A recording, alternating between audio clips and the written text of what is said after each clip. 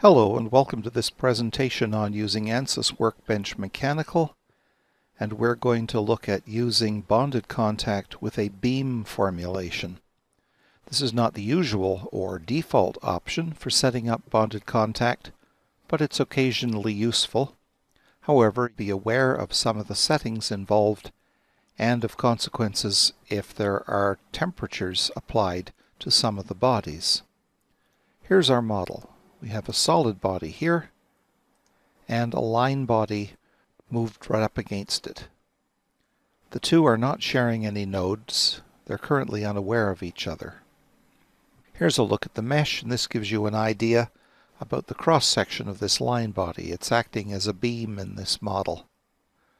We set up some simple forces and other loads on the model.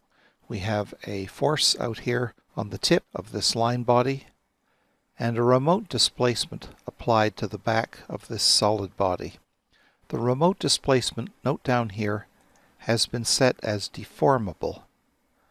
That means it can thermally expand.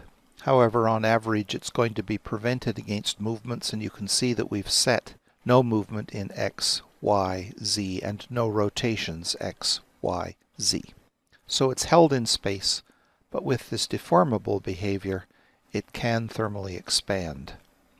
Now, we have a thermal condition applied we've put a 200 degree temperature in the solid body, but we have not applied it to the line body.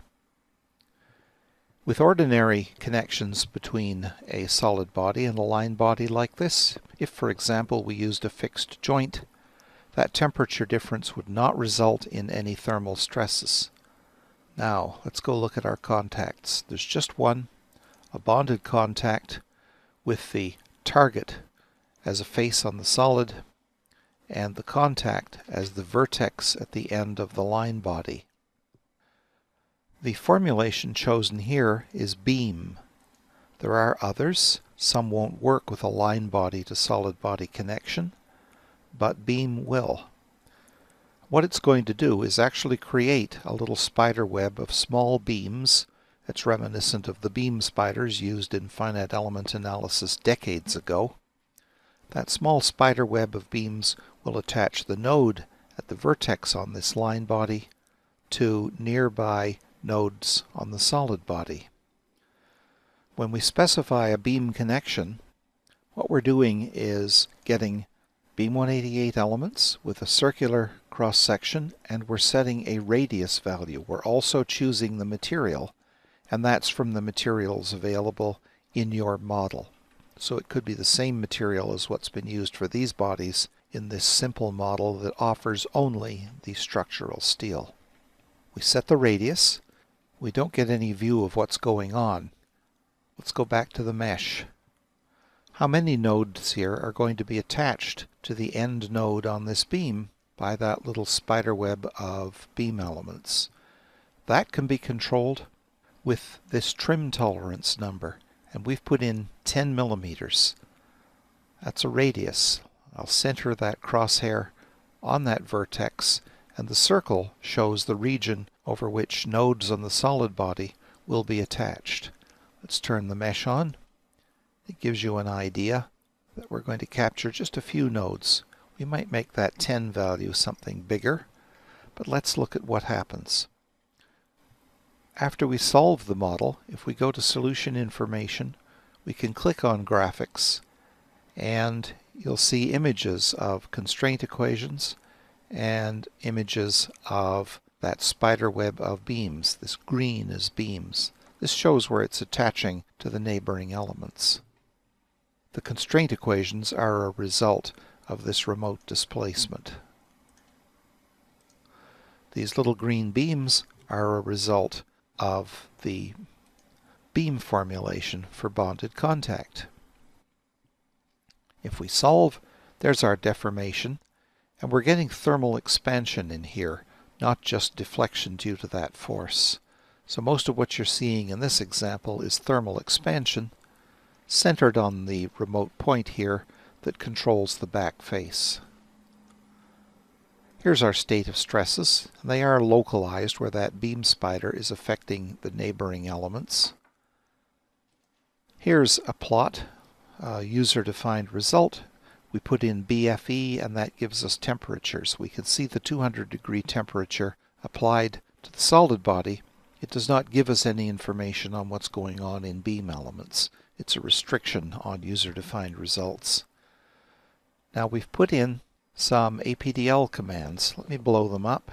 I turn on the ability to output graphic images, I set up a view, I show the element cross sections, and I turn on contour coloring according to applied temperatures. Then I plot the elements. I also execute a solve command, and I do that, you would not normally do this, but I do it in order to get the temperatures visible in this element plot. And the reason I do that is that the temperatures are being applied by a table array and it's not normally evaluated until a solve takes place. This will be followed by a second solve using the same loads which wastes time and storage but I'm trying to show you something here. This plot will be visible down in the post-processing area if other APDL commands have been entered. So we go down below and we see some more APDL commands. We make sure that we're showing graphics in the same way. We color now with element type numbers and select only the beam elements and plot. Then we select everything and we do a plot. This gives us our second two plots here.